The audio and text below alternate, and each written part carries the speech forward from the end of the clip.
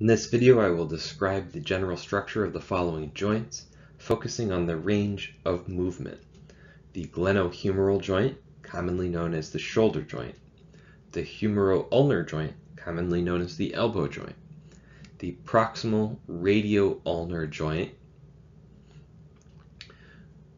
which is joint located in the antebrachial region, which enables supination and pronation. The radiocarpal joint, commonly known as the wrist joint. The acetabulofemoral joint, commonly known as the hip joint. The tibiofemoral joint, commonly known as the knee joint.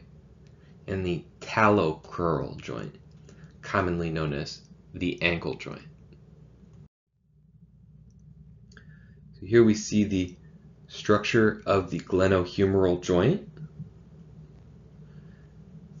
You can see that the head of the humerus articulates with the glenoid cavity in order to form the glenohumeral joint.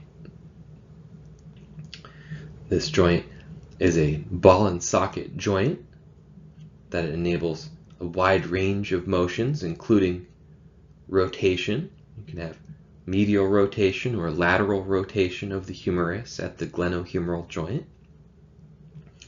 It allows a flexion and extension, and also allows abduction and adduction. So the glenohumeral joint is a joint that has a wide range of movement and is very flexible. However, in, in turn for that flexibility, there's a trade-off that the glenohumeral joint is less stable. The glenoid cavity is not a, a very deep socket, it's a relatively shallow socket. And so this enables a large amount of flexibility, but not a large amount of stability in the glenohumeral joint is commonly dislocated. However, there are ligaments and tendons to help stabilize the glenohumeral joint. So we can see here the, the tendons of some of these muscles. Here the, the tendon of the supraspinatus. So supraspinatus is a muscle in the rotator cuff group of muscles. There are four rotator cuff muscles that have their tendons crossing the glenohumeral joint and help to stabilize the glenohumeral joint.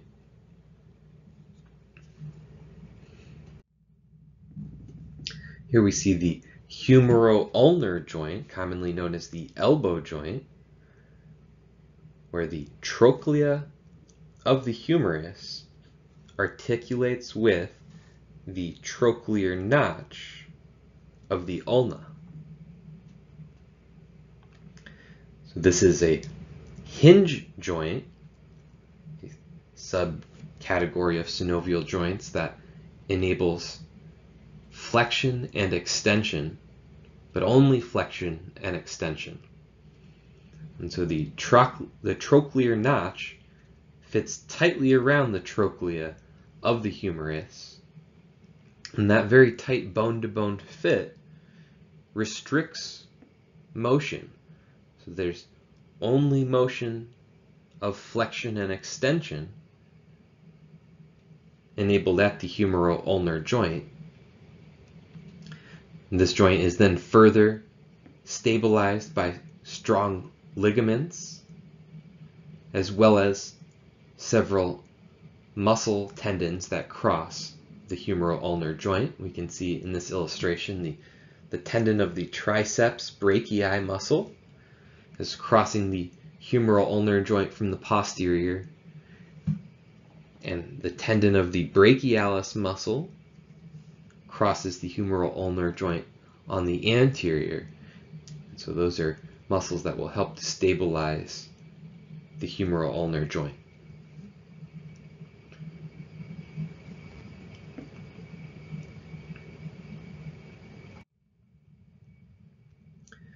The proximal radial ulnar joint is the articulation between the head of the radius that we can see here. So the head of the radius is stabilized by the annular ligament that helps to hold the head of the radius onto the radial notch of the ulna. And the, the radius will pivot as it moves. So the proximal radio-ulnar joint is an example of a pivot joint that enables the actions of supination and pronation. So supination and pronation are the actions of pivoting the proximal radio-ulnar joint. Starting in anatomical position, the proximal radio-ulnar joint is in the supinated position. And then a medial rotation is, is pronation of the proximal radio-ulnar joint. That would then move the palm to face backwards.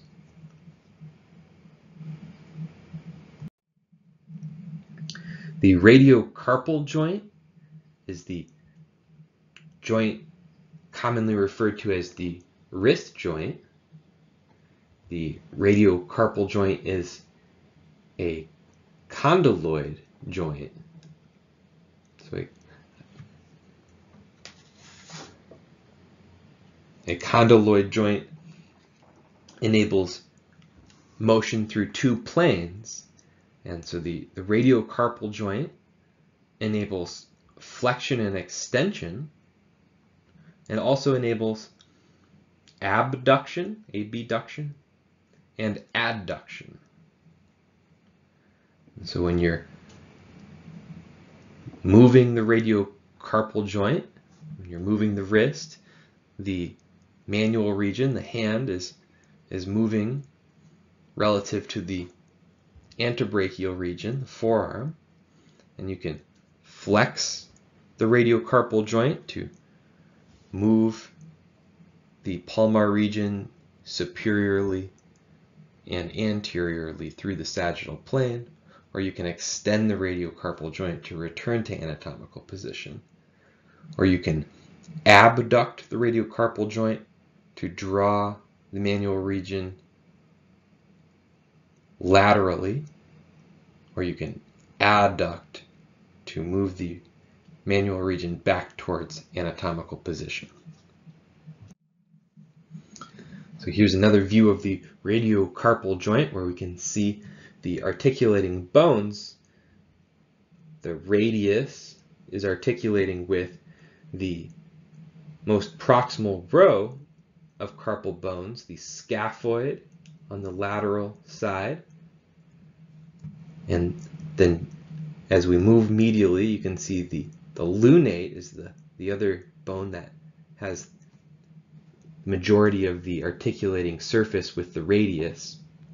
Then the triquetrum and pisiform are, are off to the medial side, but they rarely contact the ulna.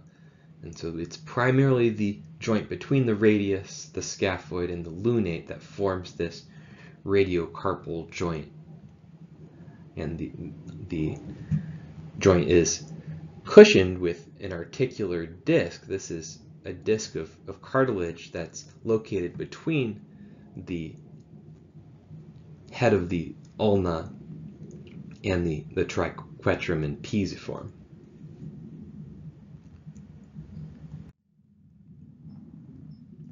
The acetabulofemoral joint is commonly referred to as the hip joint, where the head of the femur articulates with the acetabulum of the coxal bone.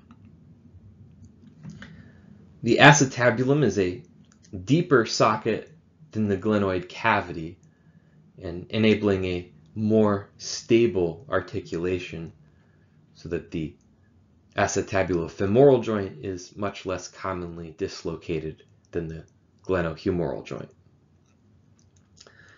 But there are also ligaments to help stabilize the acetabulofemoral joint, including the ligament of the head of the femur that attaches to the, the fovea on the head of the femur and helps to, to anchor the head of the femur into the acetabulum. And then there are extracapsular ligaments as well surrounding the acetabulofemoral joint. And the acetabular labrum is a lip of cartilage that makes the socket of the acetabulum even a little deeper to fit the head of the femur with more stability. So here we can see the extracapsular ligaments that are strong ligaments which help to stabilize the acetabulofemoral joint.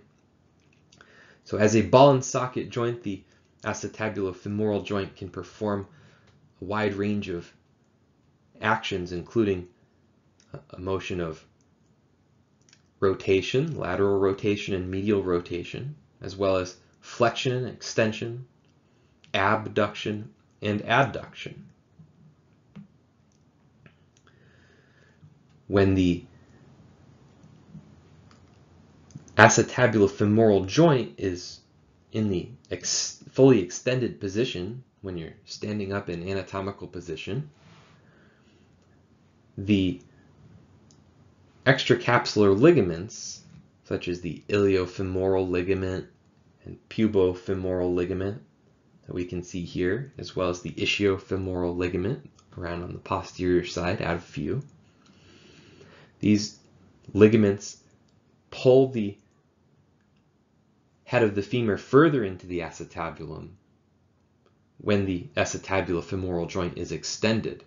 And so this will help to further reinforce and strengthen the acetabulofemoral joint when we're standing up and there's more weight being supported by this joint.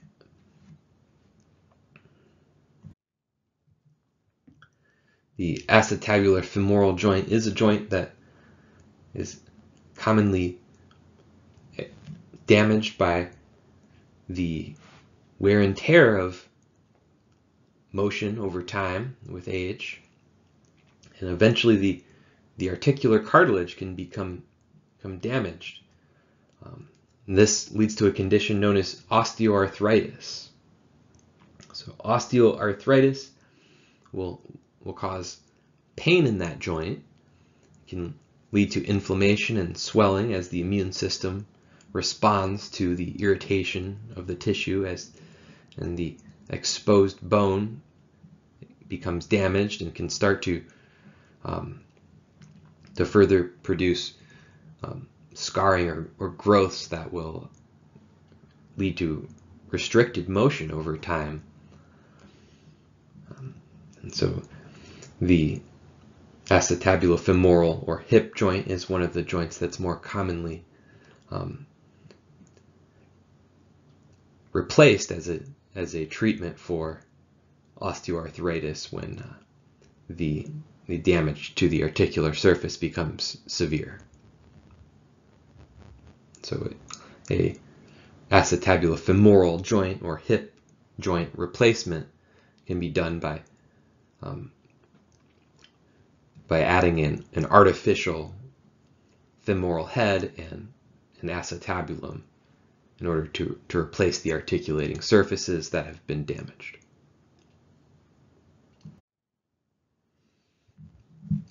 So here we see the tibiofemoral joint, which is another example of a hinge joint.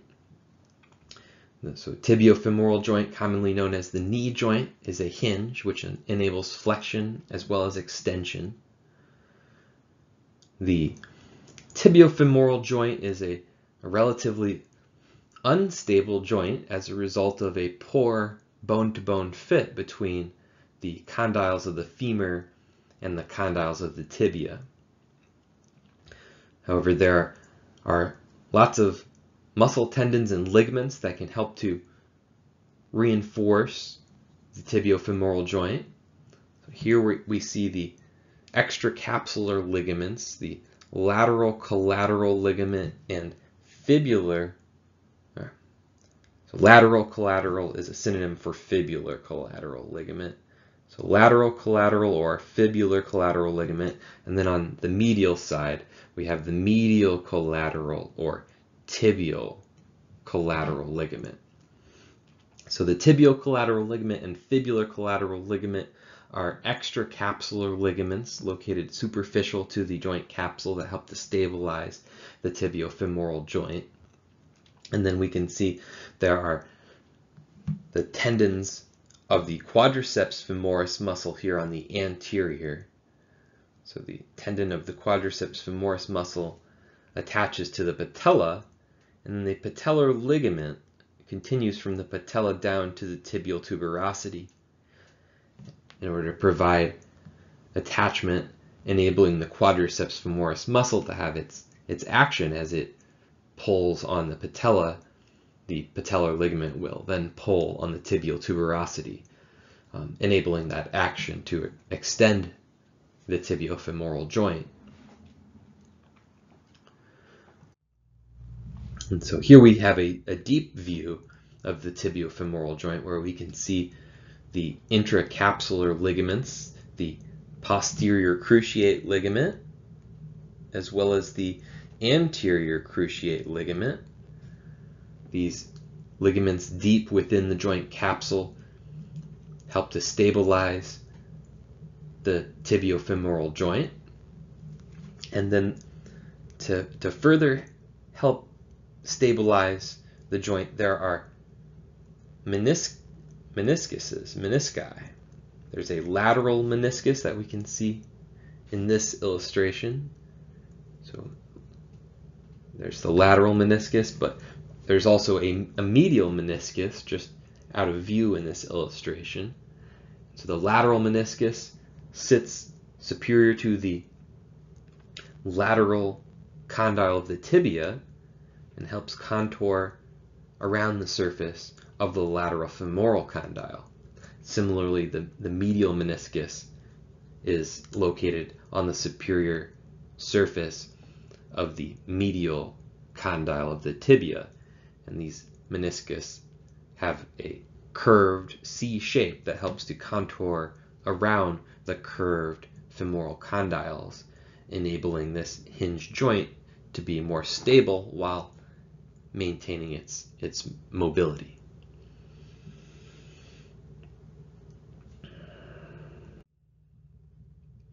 And so here we have a superior view of the tibial surface of the tibiofemoral joint where the medial meniscus is located on the medial condyle and the lateral meniscus is located on the lateral condyle. And you can see how this C shape creates a contoured surface for the curved femoral condyles to sit in and then the anterior cruciate ligament attaches to the femur from the anterior of the tibia and it, it crosses horizontal it crosses diagonally where the posterior cruciate ligament is moving up in the opposite direction from the posterior to attach to the femur. And so that's why these are called cruciate ligaments. Cruciate means cross, and the anterior cruciate ligament crosses anterior to the posterior cruciate ligament. And those ligaments help to stabilize the tibiofemoral joint. A common injury to the tibiofemoral joint resulting from a, a force that hits the lateral aspect of the of the knee of the tibiofemoral joint. This could be a common sports injury, for example, if, if someone was playing football and got tackled at the knee from the lateral side, this could cause this type of injury. Um, and the the injury which is, is commonly just referred to as a blown knee, is, is a triad of, of three different injuries. The um, anterior cruciate ligament becomes torn. Similarly, the tibial collateral ligament or medial collateral ligament becomes torn and and also the medial meniscus can become can become damaged and so that that is what's classically referred to as the the triad of a of a blown knee um, however it it is possible to have uh, injury to the um, lateral collateral ligament or lateral meniscus or posterior cruciate ligament. Um, anterior cruciate ligament damage is, is relatively common and it may be seen um, with a lateral meniscus or a medial meniscus tear or a, a um, lateral collateral ligament or a medial collateral ligament tear. So the Last joint that we'll go through is the talocrural joint. So talocrural joint is commonly known as the ankle joint. The, this is the joint between the talus, the most superior of the tarsal bones, and the distal ends of the tibia and fibula. So it's, it's primarily the tibia that articulates with the talus. The tibia is the weight-bearing bone in the crural region, and the, the fibula on the lateral side helps to stabilize the talocrural joint. So the talocrural joint is a hinge joint, so it enables flexion and extension actions. And at the talocrural joint, we specifically call these actions dorsiflexion, dorsiflexion to draw superiorly, and plantar flexion is the opposite.